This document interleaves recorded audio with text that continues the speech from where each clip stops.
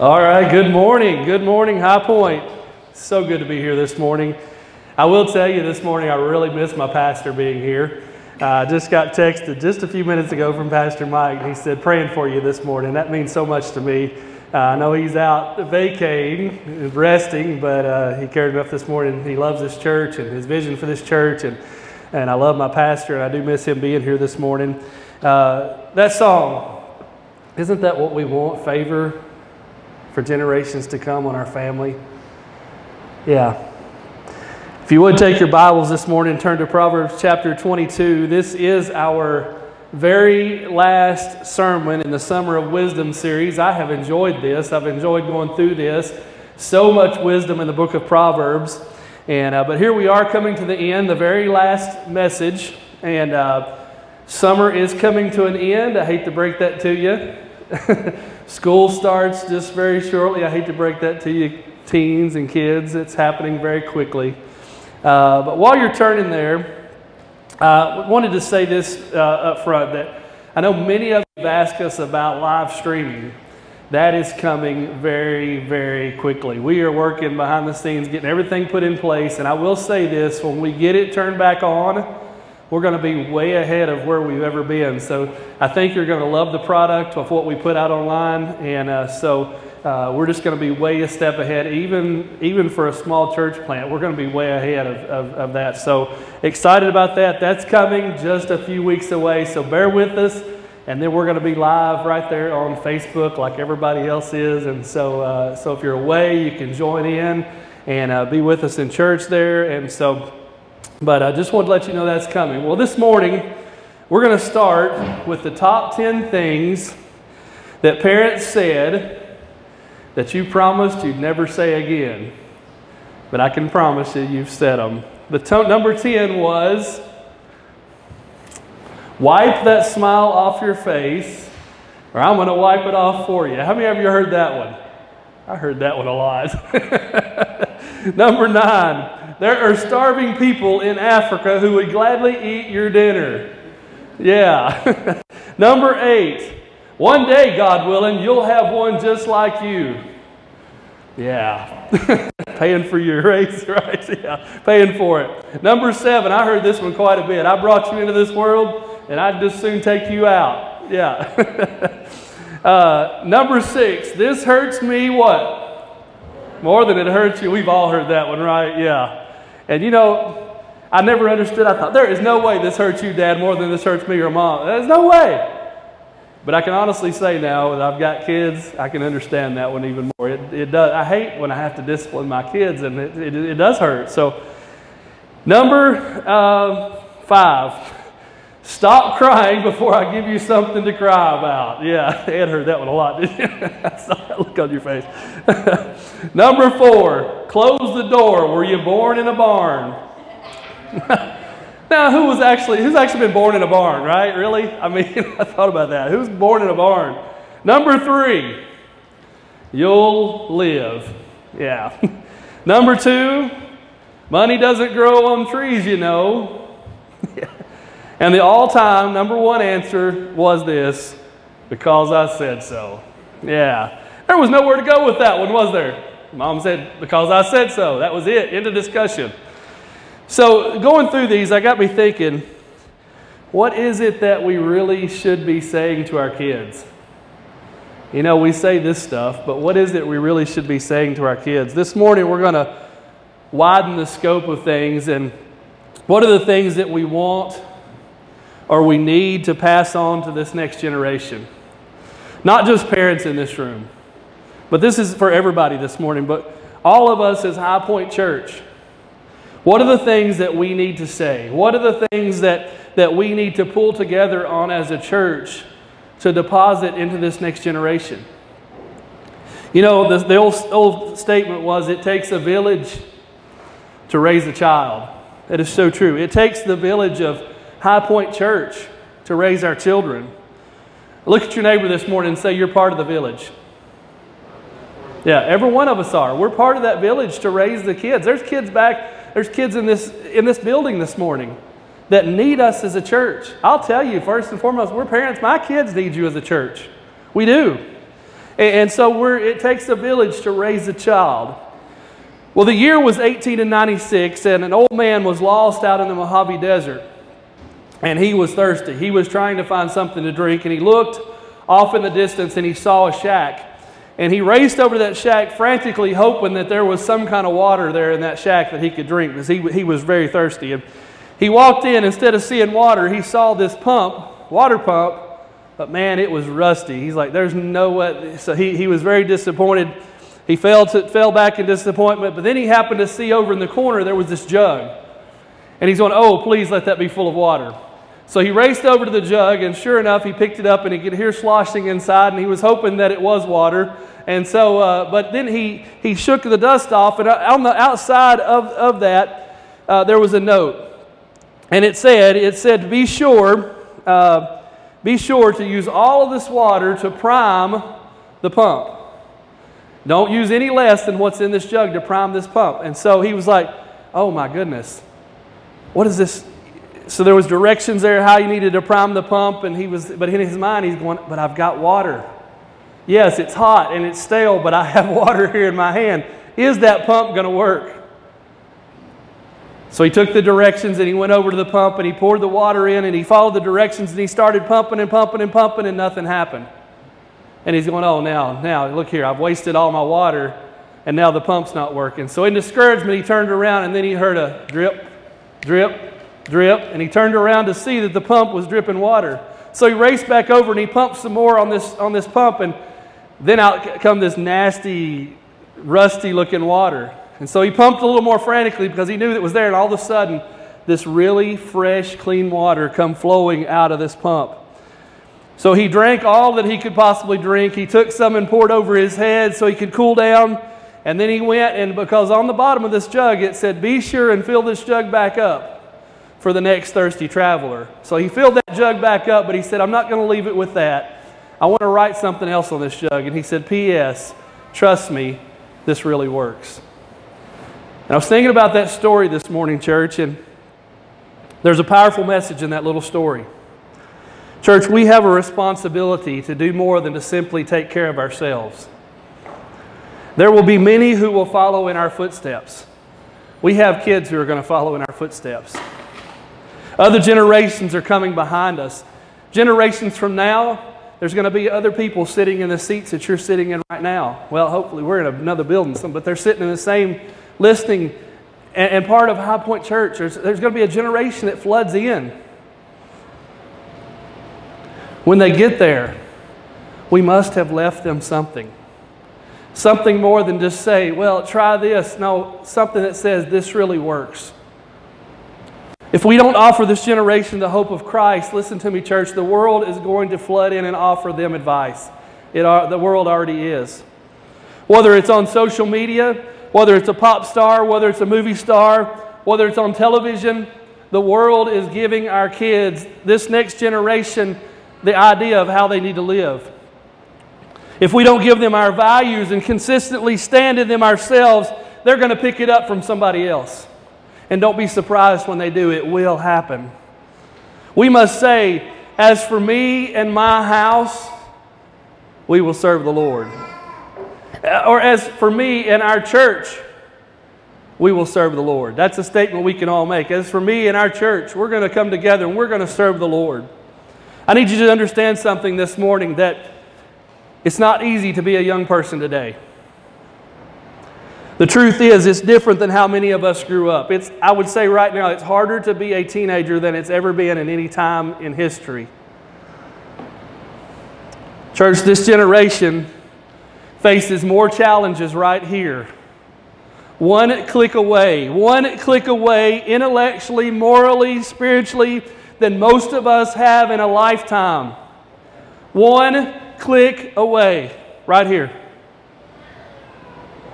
Our children are under, un, under an unseen assault by Satan. They're under attack. And we need to understand that, that there is an enemy that wants to destroy their lives. That unseen enemy, Satan, just like the recruiting poster that you used to see on the wall, the Uncle Sam that says, I want you. That's exactly what Satan is doing for this next generation. He says, I want you. But it's not as pretty as some picture on the wall. You see, Satan, Satan is deceiving. He's behind the scenes working, putting things in our kids' lives to make them fall and make them stumble. He's not out front saying, Here I am, I want you. No, he's sneaky and he's behind the scenes working to try to get to destroy their lives. Satan wants to destroy our families. Satan wants to destroy this church. Let's just put it where it is. Satan doesn't like the fact we're gathered here this morning, that we have our families here. He doesn't like that. Satan wants to destroy our marriages. And Satan wants to destroy our children's lives. Look what the Bible says about Satan in 1 Peter 5 8. It says, Be sober minded, be watchful. Your adversary, the devil, prowls around like a roaring lion, seeking someone to devour. You see, there, he, he's sneaky. If you'll know anything about lions, lions don't come out and say, Look at me, here am I. No, they sneak around and they, they, they prowl, that prowl down and they find their, their, what they're wanting to attack, and all of a sudden they jump out and they devour. And that's exactly what Scripture says about Satan. Your adversary prowls around like a roaring lion, seeking someone to devour. It says in John 10 10 also, it says, Satan's like a thief. The thief comes only to steal, kill, and destroy. You know, I like this way better. This is Jesus. I came that they might have life and they may have it abundantly. That's Jesus. That's the way I want to follow. I want that abundant life. I don't want to fall to the trickeries of Satan and let him come in and destroy my marriage, destroy my family, and destroy my kids. I don't want that. Satan's objective, church, is to attack our families. He has a deliberate, willful, intentional plan to bring harm to our children, our marriages, and our lives. He can attack us physically, mentally, economically, uh, spiritually, relationally. He is an enemy. He's not somebody to buddy up to. He wants to destroy you this morning. And unless we guard ourselves against the devil and resist him, we could end up being severely wounded. Listen, there's a war for the hearts and minds of our children this morning. And in this war, we're not exactly winning right now. I want to give you some statistics this morning. Listen to this, it's very sobering. Every single day, our children are facing an assault. Every day in the United States of America, 1,000 unwed teenage girls become mothers every day. Every day, 1,106 teenage girls have abortions. Every day, 500 teenagers begin using illegal drugs. Every day, 1,000 young people begin drinking alcohol. Every day, 80 teenage girls are raped. Every day, 3,000 kids watch their parents get a divorce. Every day, 15 teenagers say, Enough of all this, I give up and they commit suicide. Every single day in the United States of America, 15 teenagers say, I give up. I'm done. You look around, you're seeing casualties from this war everywhere you look. No, you won't see bloody, bloody bodies lying in the streets, but make no mistake, the war is real. The battlefield is littered with our children, and millions of teenagers are bearing their pain they're self medicating by chemical substances, painkillers, or like those 15 that say every day, I can't take this anymore, I'm done. Like a cage fighter stalking his opponent, Satan looks for the right opening and then he leaps on our children, starts pounding their head and pounding their head in the ground, blow after blow, with every kind of temptation imaginable to them. So, what can we do? Do we stand and idly by doing nothing? Well, I hope my kids get it. No, according to the Bible, we've been given a mandate from God to teach and train our children to protect them from the enemy. It's not a promise, but it's a mandate to follow. This morning we're looking at Proverbs chapter 22 6. This was a verse specifically written to parents. But I want to widen the scope of this morning as we look at Proverbs 22 6. I want to give you five, quickly, five divine deposits that we need to band together to deposit into the next generation. Proverbs chapter 22 6. Let's look at this verse this morning. It says, Train up a child in the way he should go, and even when he is old, he will not depart from it. Remember that, remember again, Proverbs are not promises, okay? They're mandates that we follow. So a lot of parents have beat themselves up saying, But I trained my child up in the, the Bible and he went astray. And they beat themselves up because this verse before. Train up a child in the way he should go. We're going to explain exactly what this verse means this morning. And I love the way that Proverbs 22 6 says in the Message Bible. Bring that up. What does that say? Point. Point your kids in the right direction, and when they're old, they won't be lost because you've deposited things in their life that they have something to go back to. Yeah, they may make that choice. We talked about that last week when we was talking about the will of the will of God versus the will of man. They could make that decision and say, I'm going to go this direction. That's not what we want as parents. But we point them in the right direction. We give them that, that arrow that says, This is really the way you need to go. So, number one, the number one deposit that we need to deposit in our kids' lives is deposit, God, deposit godly wisdom into the next generation. We look at that verse again, Proverbs 22 6, and we see this is the first part we're going to look at here is train up a child. The Hebrew word for train, right here, is hanak. Hanak. It's used five times in the Old Testament. Four out of the five times it means to dedicate a house or a temple. In this verse, it means to dedicate our children to the Lord. Now, there's a picture coming up here. This picture was just several, back over the first part of the summer. It was actually on Mother's Day. And this was a child dedication service that took place right here on this stage. We have a special time where we have parents bring their children up on this stage and dedicate them to the Lord. Now, I will say there's nothing about this dedication service that, that is how your kid gets to heaven.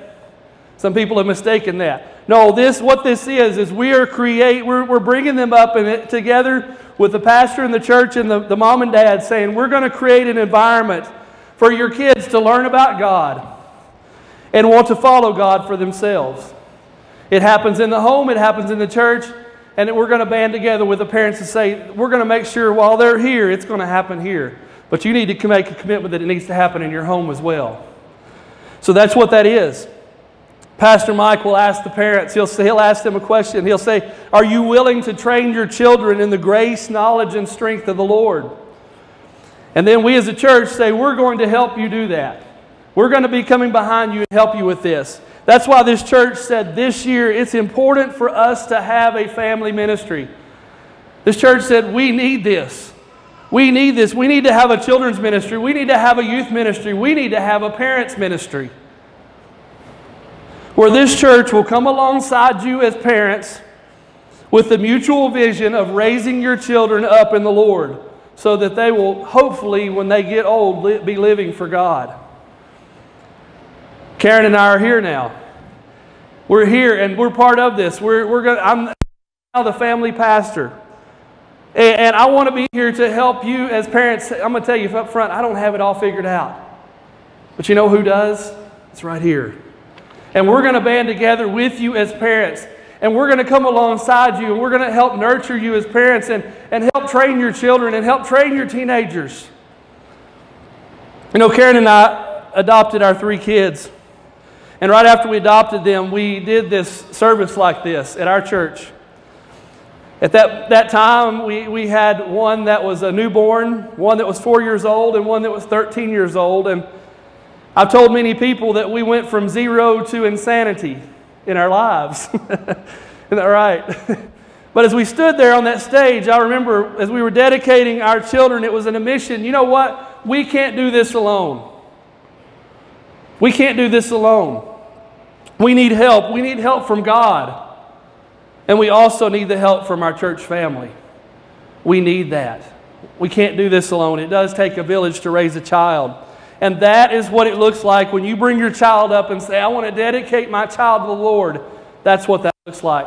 I'm going to do my best as a mom and dad to raise my child, but I also need the church's help as well. And so that's what the child dedication, and that's really what we're talking about there in that part of training up is dedicating. That verse also means it actually, that Hebrew word has two meanings. It also means to hedge in. Hedge in.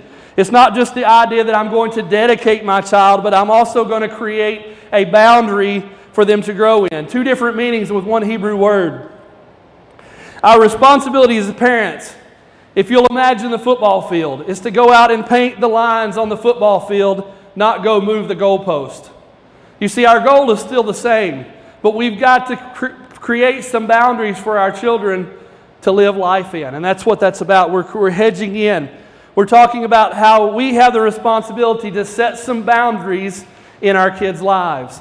Our kids need boundaries. They don't need to be saying, okay, go out, do what you want to do. Dr. Henry Cloud, he writes a very good book for parenting. It's called Boundaries with Kids. And in that, he has, he has some quotes that I want to share with you this morning. The first quote says Training moments occur when both parents and children do their jobs. The parent's job is to make the rule, the child's job is to break the rule. the parent then corrects and disciplines, the child breaks the rule again. How many of you ever had that happen, parents? Yeah, over, yeah, exactly, over and over again, right? And the parent manages the consequences and the empathy that then turns the rule into reality and internal structure for the child. That's what we're talking about. Our children need structure and boundaries in their life. You say, but Brother Andy, you don't know my kid. You don't know my kid. He throws temper tantrums all the time. Well, he addresses that as well. He said, Other children communicate with actions such as tantrums, yelling, name calling, and running away. The trick is to disallow this form of expression and encourage verbal communication. Basically, saying, I want to know what you're feeling, but I want to hear you tell me instead of show me. And that's, how, that, that's, that's a great quote this morning. And he also goes on, he said, Children raised with good boundaries learn that they are not only responsible for their lives, but also free to live their lives any way they choose as long as they take responsibility for their choices. For the responsible adult, the sky is the limit. That really goes back to what we were feeding on last week out of Scripture and God's will for our lives. Our responsibility is to train up a child, to deposit godly wisdom in their life, to dedicate them to the Lord because they're not yours. By the way, parents, you got your kids on consignment from God for a, really a very short amount of time. Really, a very short amount of time. I read a quote just this week that said, You have 18 summers with your kids. Think about that one. 18 summers with your kids. Because then they graduate, that right, brother? And they're off on their own. And they're going about their plan for their life now. Getting married and starting a family and all that. 18 summers with your children. Parents, you have this specific time right now. We as a church have this specific time to come around parents to help them prepare and help these kids prepare for the choices that they will make in life. Number two, we need to deposit inspirational vision into the next generation. Inspirational vision. We have to speak some vision into their lives. The verse goes on, it says, not just train up a child, but it says, in the way he should go. Let's look at this part. In Hebrew, this means in accordance with. In accordance with. It literally means in the mouth of his or her way. It's really the beginning or the starting point. And it really all, defend, the, the, all hinges on the way, this word right here, way. In the way. For many parents, it's the way. It's my way or the highway. The way you wish that you had went, you want to live your life over through your children, uh, or the way that you want them to go. Well, I want my kid to be this occupation. Well, maybe your kid wasn't wired to be that occupation. You see, the second option is a way. A way for the child to go, a way that they're given passion and vision and a gift, the way that they're wired. You see, God wired all of our children differently. All three of my kids are different, they're all wired differently. I can't say I want all three of them to be in the same profession or I want all of them to go the same way. They're not gonna, it's not going to happen. God's designed each of them unique with their different talents, the way that God designed them. That same word way, you can go to Proverbs chapter 30, verse 19.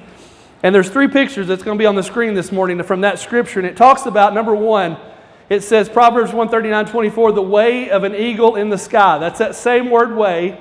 You see this eagle flying in the sky here. It's what that eagle was designed to do to spread its wings and fly. Listen, parents and church, we are to foster an environment where our kids can spread their wings and fly, just like that eagle. The scripture goes on, it actually brings up a snake. Whew, Psalms 139 24, the way of a serpent on a rock. It's what snakes were designed to do. They sit on that rock, and uh, as they naturally do, and uh, I was just looking at that. That kind of resembles a teenager on a school morning, right? Look at those fangs. Not that I would know anything about that, right? yeah, a teenager on a school morning. Look at that. But see, that's what snakes were designed to do. Then the last one that it brought up in Scripture, it says, the way of a ship on the high seas. A boat gets wind in its sails, and it's off to its destination. You see, that's how it should be in our kids' lives. That wind is the vision that we put into the sails of our children so that they can do what they were designed to do. We put vision in their sails. And as much as we hate to see that day come where we say, okay, I trust, as they walk out the door and they head off to college and they head off to get married, and it's what they were designed to do. Proverbs 22 6 in the Amplified says, Train up a child in the way he should go, teaching him to seek God's wisdom and will for his abilities and talents. Even when he's old, he will not depart from it. Teaching him to seek God's wisdom and will for his abilities and his talents. That's the way that God designed them. Number three, we need to deposit timeless truth, timeless truth in the next generation. Many today that we live in, the society that we live in, the world that we live in today, would doubt the idea today of absolute truth. Actually, Oscar Wilde wrote, The truth is rarely pure and never simple. Or if you want to look at what Bob Dylan said, Bob Dylan said, All the truth in the world adds up to one big lie. You see, that's what the world's teaching our ch- children. This is what the world teaches. And that's really, is it really that depressing? Is there no hope of finding any certainty? Our children are growing up in a very, very uncertain world, and their questions are often met with confusing answers. Is there a God? And the world says, probably not. Where did, where did everything come from? The world will turn around and say, the Big Bang triggered everything, but before that, we can't even be sure. How do I know what's right and wrong? And the world tells our kids there's no absolute morality, so just do what feels good to you. You only got one life to live, so go live it. Our children ask the question, What happens when you die? And the world turns around and says, Probably that's just the end. But no one really knows for sure.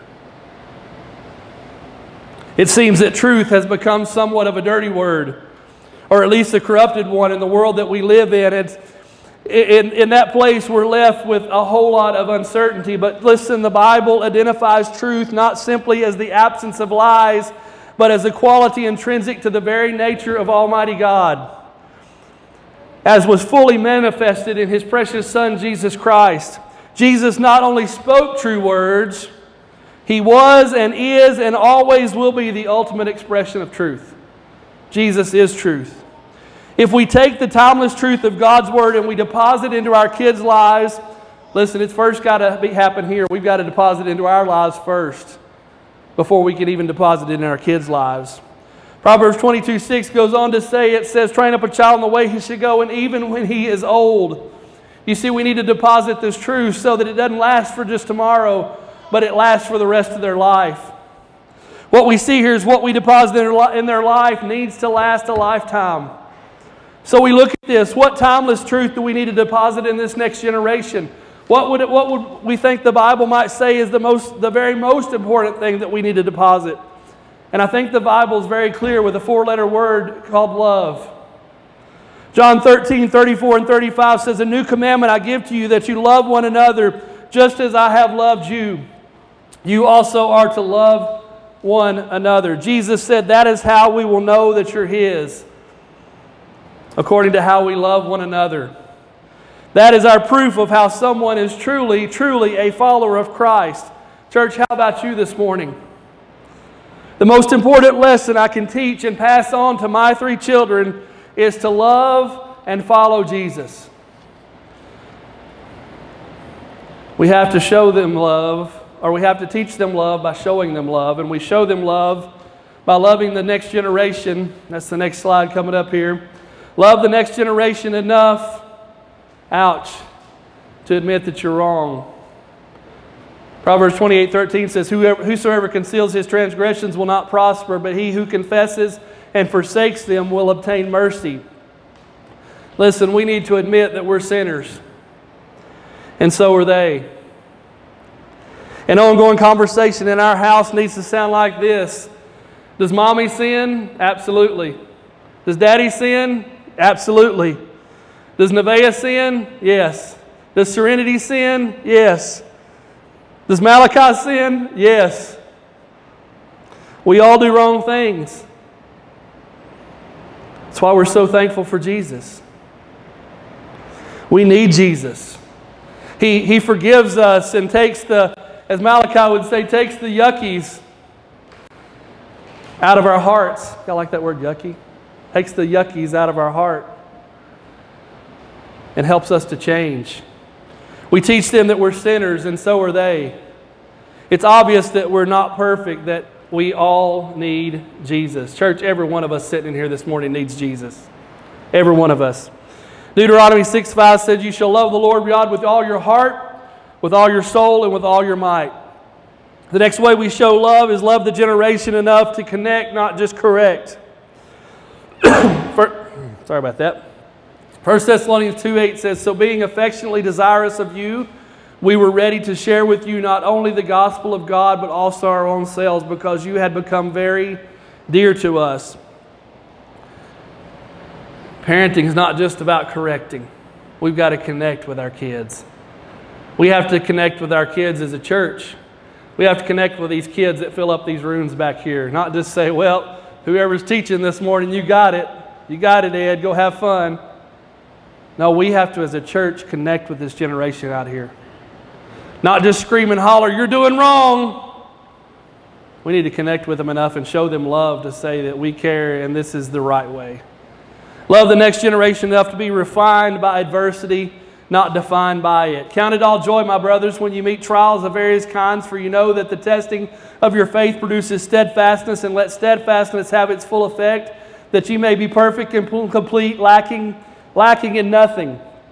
Church, we need to be refined by the adversity, and we're going to face adversity, by the way. We need to be refined by the adversity so that we can teach, that we can train, and we can mentor the next generation coming up. Kids don't need somebody that's fake in their lives. They need real today. They need someone that's real that can look them in the face, can look them dead in their, dead in their eyes and say, you know what? I have been there. I know what you're facing.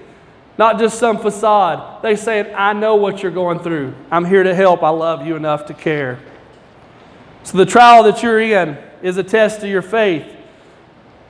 The pain you're going through, the difficulty, maybe you're in a bad relationship. God wants to use that to produce, it says to produce steadfastness so that it can have its full effect that you may be perfect and complete, lacking in nothing. We need to love the next generation enough to to replace attitudes of entitlement and privilege with servant and thanksgiving. Do nothing from selfish ambition or conceit, but in humility count others more significant than yourselves. Let each of you look not only to his own interest, but also to the interest of others. We are in a generation of this. Gimme, gimme, gimme, gimme, gimme, gimme, gimme. That's what our world is right now. Gimme, gimme. It's an entitled generation. We need to replace that attitude with the privilege of servanthood. Look at the Bible. Look, at, look straight at our example of Jesus Christ. He was the greatest servant that ever walked the face of this earth. Jesus modeled servanthood and thanksgiving. And that's what he's saying. We need to replace that attitude of gimme, gimme, gimme with the idea that we need to serve others and we need to be thankful for what we have. love the generation enough next to know what hills to die on. Have you ever heard that statement to know what hills to die on? You know what that means? That means we need to choose our battles. We need to choose our battles. John 3:17 said, "For God did not send his son into the world to condemn the world, but that in order that the world might be saved through him." That's enough said there. We need to know we just need to choose the battles that we fight with our kids. We need to love them enough to show them Jesus. Finally, love the generation enough to walk the walk and not just talk the talk. I, therefore, a prisoner for the Lord, urge you to walk in a manner worthy of the calling to which you have been called, with all humility and gentleness, with patience, bearing with one another in love, eager to maintain the unity of the Spirit in the bond of peace. We need to be models in grace and truth in what we do. We need to walk here, as Ephesians 4 said. That's our bullseye. That's our bullseye. We're to walk according to how we've been called, to all humility and gentleness with patience, bearing with one another in love, eager to maintain the unity of the Spirit in the bond of peace. We're to walk the walk, not just talk the talk. So we need to love this generation enough to admit that admit when we're wrong, connect, not just correct, be refined by adversity not just be refined by it, knows what hills to die on, walk the walk and not just talk the talk.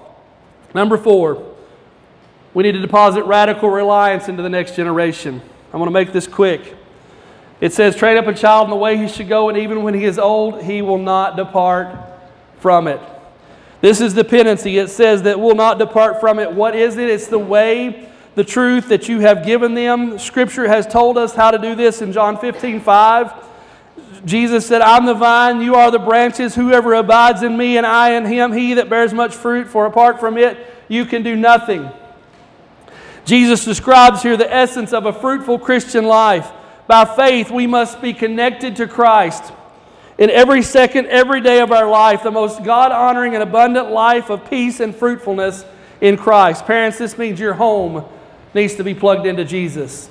This means you, as a mama and daddy, need to be plugged into Jesus. This means we, as a church, have to be plugged into Jesus.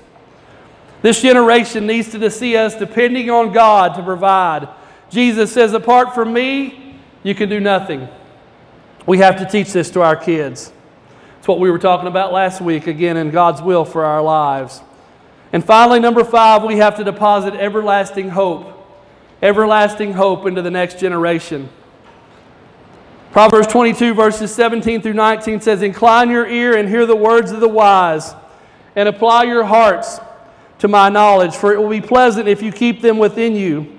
If all of them are ready on your lips, that your trust may be in the Lord. You see, we skipped ahead from Proverbs 22, 6 to another verse here. You see, I don't know how to develop hope apart from trusting God for who He is and what He said.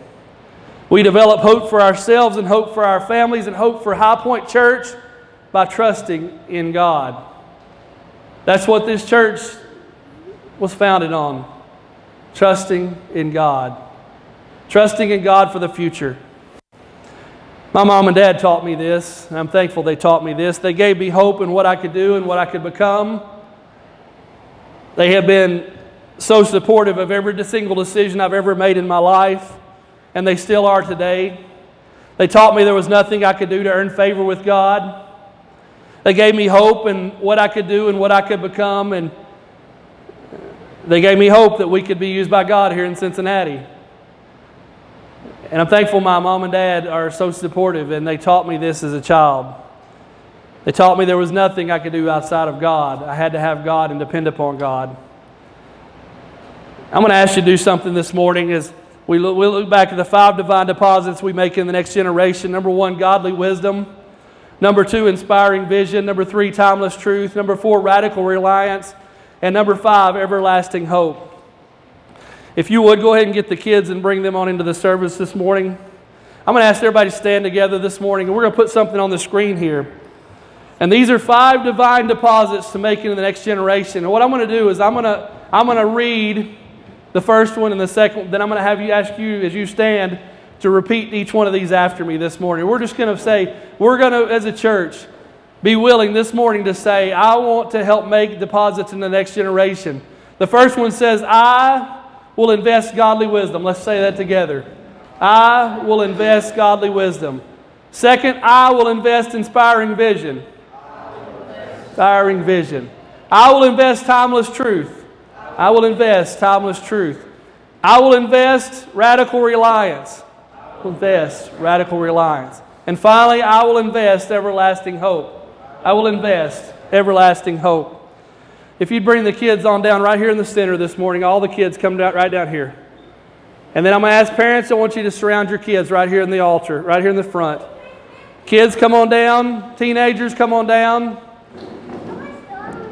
If you want to be a kid, come on down.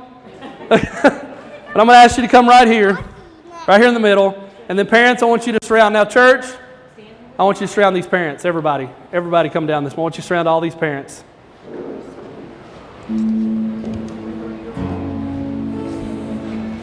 I'm going to pray over these kids, my kids. I'm going to pray over all these kids and these parents and the church as a whole. We're committing as a church for this next generation. It's just a picture we can do this morning. These kids are the next generation. Look at them. These kids. The next generation that's going to step out and serve the Lord. I was so thankful to see my daughter stand up here this morning singing on stage. You see that next generation that takes the baton and says, I'm ready to run. I'm ready to run for the Lord.